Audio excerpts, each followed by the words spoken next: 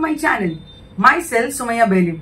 In today's video, I'll be covering more theorems related to triangles. So, what are we waiting for? Let's zoom into today's theorem. By now, you might have understood that there are six exterior angles. But when you move clockwise, there are going to be three exterior angles. And when you're going to move anti-clockwise, again there are going to be three exterior angles. Let me show it using this diagram which is there. Here, when you're moving clockwise, the way the clock is moving, so this one is the first exterior angle, second exterior angle and the third exterior angle. But when you're moving anti-clockwise, means in this direction, then this one is the first exterior angle, second exterior angle and the third exterior angle.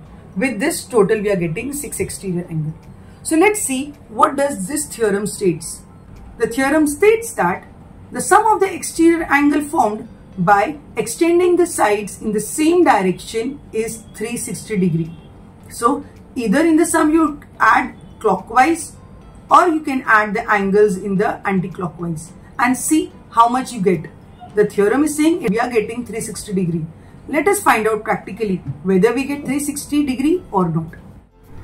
Observe this triangle A, B and C and now let's find out the measure of exterior angle clockwise. So let's see the measurement of first exterior angle.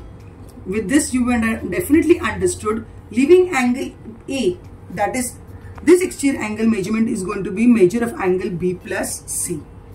Similarly for this second exterior angle clockwise leaving angle C the measure of angle is going to be angle B and angle A.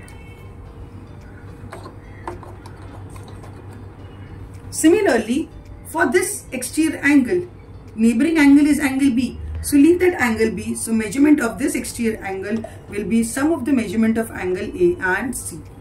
So the theorem states that you add the three exterior angle clockwise. Same thing you can do it anti-clockwise. And the total is going to be 360 degree. So let's take all these three angles together and find out whether the theorem is correct or not. A, B and C. Together you can observe that it is forming a complete circle and we know the measure of complete circle is 360 degree.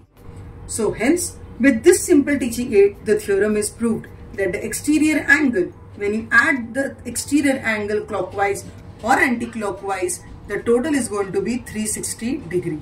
Isn't it simple to understand students? So I hope with this teaching aid, these basic concepts are now clear to you and it will be drilled in your mind throughout your life.